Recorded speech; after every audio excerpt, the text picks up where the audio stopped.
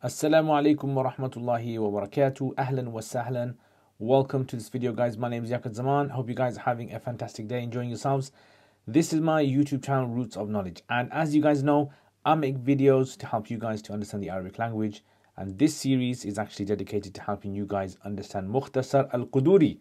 And I'm very, very, very sure that there are guys out there who are waiting, anticipating for me to restart Mukhtasar Quduri and complete Kitab al Ijara and get onto Kitab al Shuf'a. Okay, but anyway, without a delay, let's start it, guys. Make sure you hit the like button, subscribe button, and share my videos with others as well. So, first of all, let's check out the meanings of the words. Ujara is the plural of Ajir. Okay, so this is Ajir, and then you have Darbain. So, Ajir, as you guys know, means uh, someone who's employed, an employee, a worker. And then darbain is two types times two. Ajir, again, mushtarak. Ajir mushtarak means shared. Mushtarak means ishtaraka, yashtariku, ishtirak, mushtarak. Ajir khas, khasun, it means specific. Okay, so specific. Mushtarak, man la yastahiq, istahaqa, yastahiq, to deserve, entitled. Al-ujra is fi, ya'mal, to work. Sabbagh is someone who dyes, qassar, someone who washes, mata, goods, amana, trust, halaka, to perish, yadman, to, to compensate. Uh, we don't know a lot of these words before. Talifa, to become perished, to destroyed. Takhriq is to tear, to rip. thobe's is clothing. Zalaqa means to slip, inqita to sever to cut yashuddu it means to tie al mukari is the the guy who is uh, who actually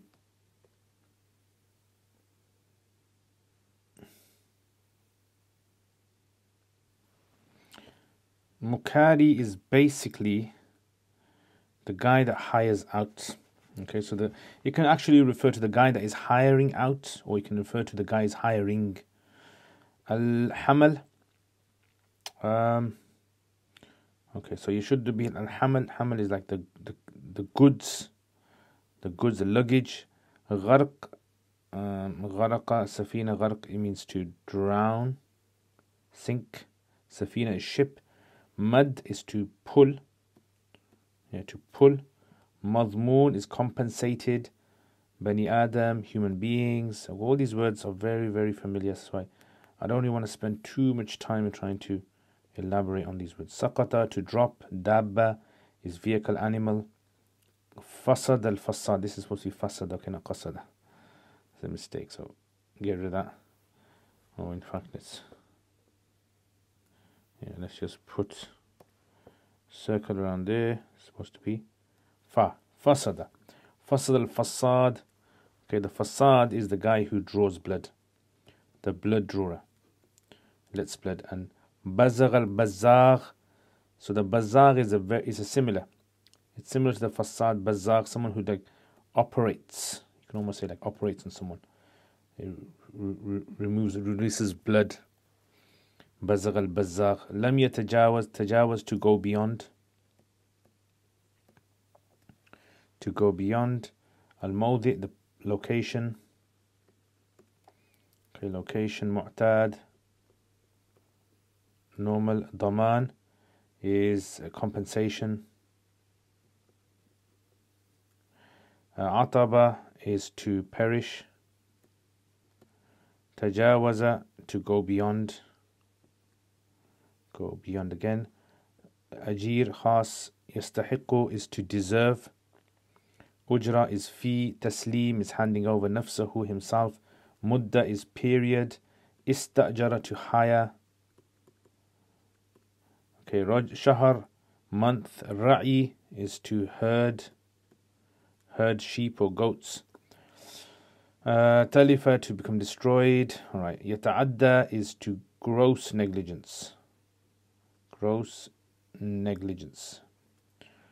All right. So let's have a look at the tarkib side. Tarkib side is what some of you guys enjoy all right so تركيب والأجراء مبتدأ على ضربين خبر أجير مشترك this is going to be the بدل or you can say أجير مشترك whatever you want to say وأجير خاص فالمشترك مبتدأ من لا يستحق يستحق الأجرة مفعول به حتى يعمل كالصباغ والقصار.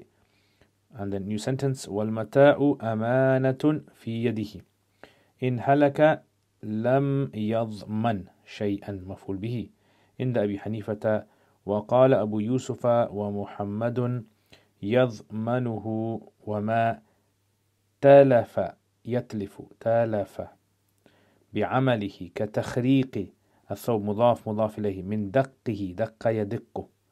وزلق آه وزلق الحمال. وانقطاع الحبل الذي يشد به المكاري الحملة وغرق وغرق السفينة من مدها. مضمون. All this is the خبر. Yeah, so all of this is the خبر. Of ما تلف بعمله. that's the مبتدا that's the خبر. إلا أنه لا يضمن بني آدم. كمن غار غرق. غرق في السفينة. أو سقط. سقط. من الدابة. لم يضمنه. وإذا فصد again. فا فصاد الفصاد أو بزغ البزاغ لم يتجاوز. Okay that's the تجاوز. You guys know what that is.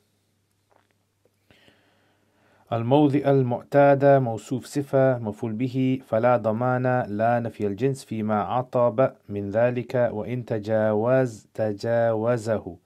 ضام لا فعل. Next new sentence. ولأجير الخاص سوسي والأجير الخاص not ولأجير والأجير so my mistake والأجير الخاص okay. هو الذي يستحق الأجرة مفعول به بتسليم نفسه في المدة وإن لم يعمل كمن استأجر رجلا شهرا للخدمة أو لرعي الغنم ولا ضمان على الأجير الخاص فيما تلف في يده جار مجرور ولا فيما تلف من عمله إلا أن يتعدى فيضمن Alright, so let's have a crack on and try to understand exactly what is happening over here. What is the mas'ala? Alright, so we, want to understand mas'ala kya hai. Alright, so al-ujara. So you have two types of you have two types of employees, okay? Two types of workers that hire themselves out. You have something which is known as a ajir mushtarak and you have something which is known as a ajir khas. Right, that's the two that you have to remember. Now, because because of the different sort of um, agreements that they have, they actually can actually do different things. So, for example, like Ajir Mushtarak is basically someone who is like a freelancer who can work for who can work for multiple people at once, multiple employees, employers. Yeah, so he can work, let's say, for example, for for let's say this guy, he can work for this guy, he can work for this guy. As long as he gets the work done, that's that's the main thing. Ajir Mushtarak is all about getting the work done. Once he's got the work done, that is considered to be fine. Like for example, let's say you give your you give your clothes, right? So you give your clothes. This guy gives his clothes to this guy. Let's say for example a shirt.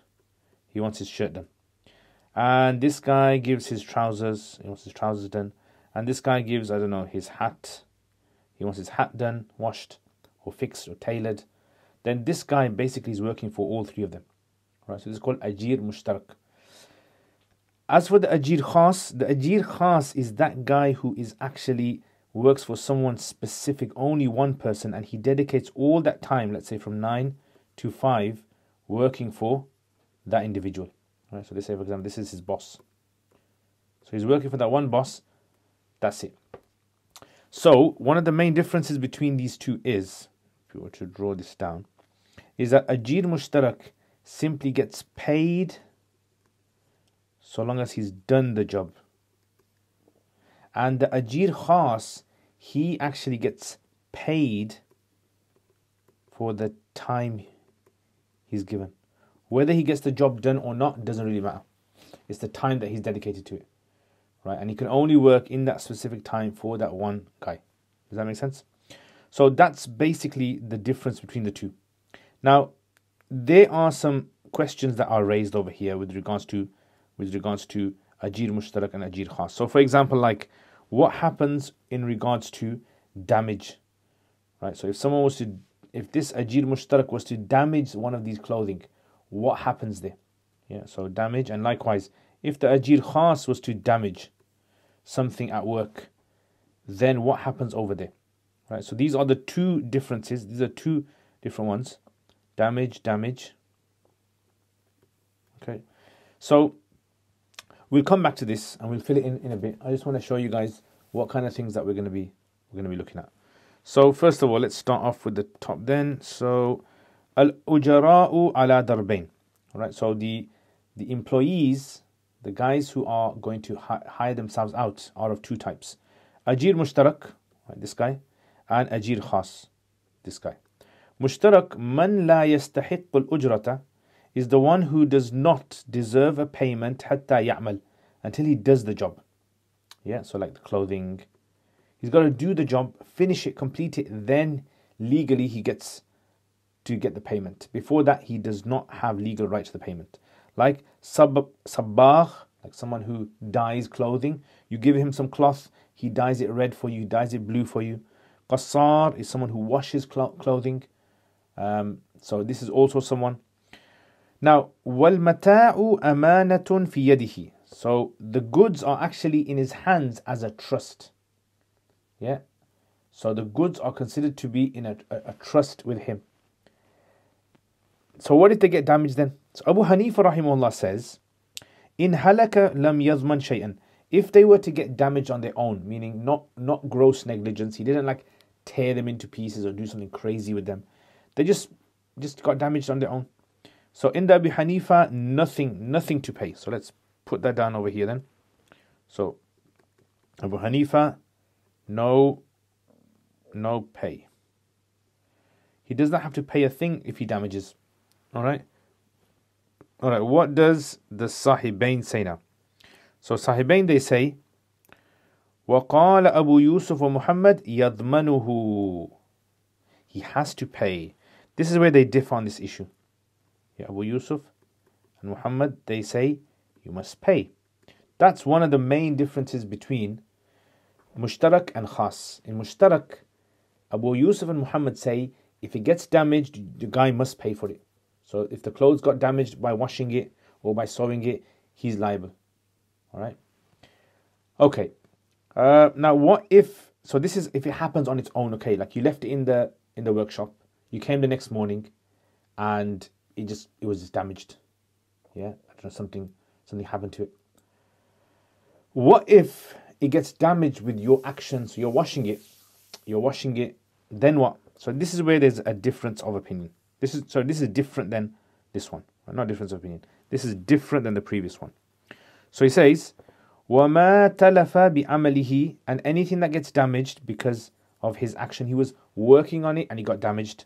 كتخريق الثوب من دقه like for example tearing of the cloth because of when he's washing it he's got to like rub it against a rock or something or I don't know you know scrubbing it against something and it tore وزلق الحمال or for example let's say the guy he hires someone to carry some goods from one one destination to another right so he wants him to go from one destination to another as he's as he's taking it the animal slips and the luggage falls out something gets damaged yeah, so let's write this down.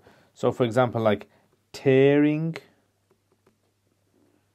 or slipping, yeah, or inqita al-habal, or the rope holding the the luggage gets torn. وانقطاع الحبل الذي يشد به المكاري الحمل. The rope that he uses to inqita gets torn, the rope that he uses to tie the goods. So, you know, have you seen in those trucks when there's lots of goods in there and they have like ropes tying it down? So imagine, for example, someone's tied it down, but they driving on the motorway and the rope tears, rips, and the goods fall out of the of the van. وغرق السفينة من مدها or the ship sinks, sinking of the ship because of pulling it. So they've tugged it, and by tugging it, it's caused damage, and that has caused the boat to, to sink. Yeah, so sinking of the boat. All right, so here, these are the four examples that he brings to show uh, that in all of these cases, in all of these cases, he is madmoon. Yeah, he is considered to be liable for this. Yeah, he has to basically pay for this. Madmun. Okay, so he's got to pay for all of this, but what if, let's say, so if a guy's washing clothing and he tears it, gets damaged, then he's liable. If a guy is, I don't know, sewing clothes and gets is liable. If you send take your laptop, it's damaged to the repair shop and they're fixing it and they broke the screen, then they're liable. Yeah, they have to pay for it. Madmun. The only thing that you're not liable for is human life. Human life, you don't have to pay for that. Yeah. So what's the example of human life that you don't have to pay for? So he says, إلا أنه لا يضمن به بني آدم. He doesn't have to pay for human loss. So human loss doesn't have to pay. What does that mean? So that basically means is that let's say for instance you have I don't know a, a bus or something and people came on the bus and they paid for for the fare for the ride and the driver i don't know had an accident hit someone and some people lost their lives some people got injured he doesn't have to pay for that illa annahu la yadhman bihi bani adam right so long as it wasn't gross negligence doesn't have to pay la yadhman bihi bani adam doesn't have to pay for human loss like for example what's the example of human loss كغرق السفينة كمن غرق في السفينة like a human that has unfortunately drowned in a ship. Oh, sakata min dabbati, or in them days, a person would be riding on top of a camel, and then you pay. You know, you've probably seen it sometimes on the beach. In I remember when I was in Pakistan, you can sit on a camel or a horse. You pay them, uh, and then you, you, they'll take you around the beach. Now, imagine you fell off that and you injured yourself. Yeah, lam yazmanhu doesn't have to pay for it. Okay, what if there's some sort of like a procedure, a medical procedure that someone's carried out on someone? Yeah, a medical procedure. So, as for medical procedures, then the rule basically is as long as the person has not gone beyond what they're supposed to be doing. Yeah, so medical procedure. Yeah. So as long as a person has not gone either fasad al fasad, like fasad al fasad is to draw blood. So sometimes, I don't know, there might be some procedure where some blood needs to be drawn. Or bazagh al bazagh. So bazagh is also like drawing blood. It's usually in animals as well. Um, ولم يتجاوز الموضع المعتاد and he doesn't go beyond the normal place where, where the physician, the doctor, will cut. Yeah, so this could also apply to operations or anything like that. فلا ضمان عليه فيما عتب من ذلك. Then there is no compensation upon him in what gets perished, what is damaged, dies, min dhalika.